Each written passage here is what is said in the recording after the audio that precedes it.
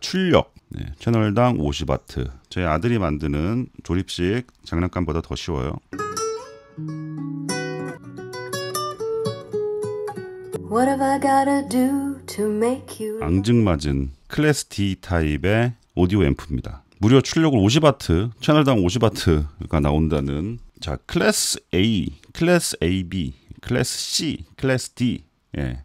이렇게 A, B, C, D로 넘어가는 순서거든요. 그러니까 공교롭게도 근데 D가 뭐 디지털이라는 오해로 많이 하시는데 뭐 디지털 개념이 아예 없는 건 아닌 것 같아요. PWM이라는 게 뭐 개념이 들어가고 하다 보니까 어느 정도 연관성은 있는데 어쨌든 클래스 D는 디지털의 약자는 아닙니다. 어쨌든 근데 클래스 A가 뭐 진공관 앰프 저희가 예전에 만든 거 식스피어 앰프 같은 경우에는 효율을 보통 20% 정도밖에 안 보거든요. 근데 클래스 D 타입은 무려 90%가 넘는다는 극강의 효율을 가지고 있습니다. 비교적 작은 전원으로도 50와트까지 낼 수 있는 그런 출력을 만들 수 있는 거겠죠. 이게 가격이 얼마냐면은 14,020원입니다. 국내 업체에서 샀고 어 근데 여기 쓰인 칩이 찾아보니까 TPA 3116D2 라는 TI Texas Instruments죠. 여기에서 만든 칩입니다. 미국 회사죠. 스펙을 보면은 자 출력 네, 채널당 50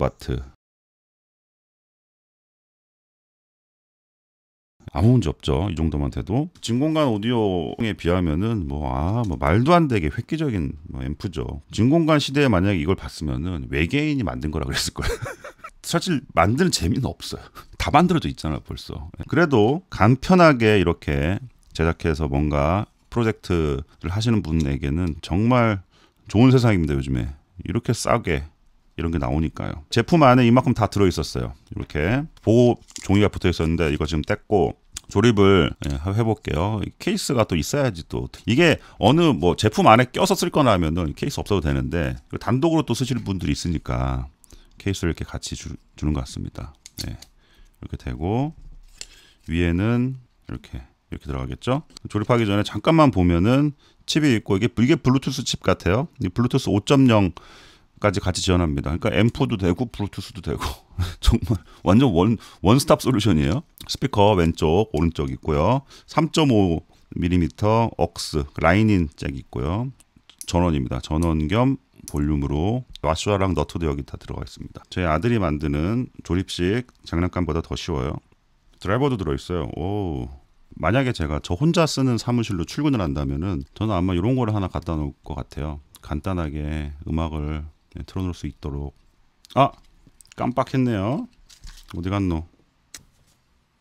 여기 붙어 있었네.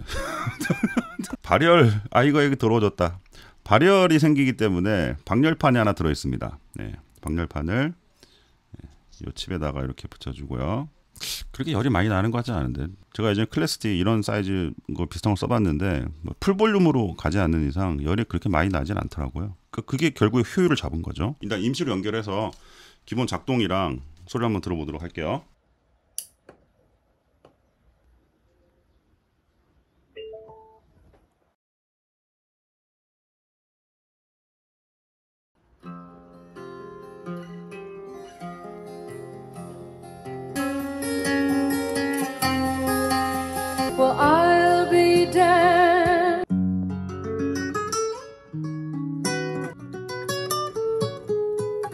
What have I gotta do to make you?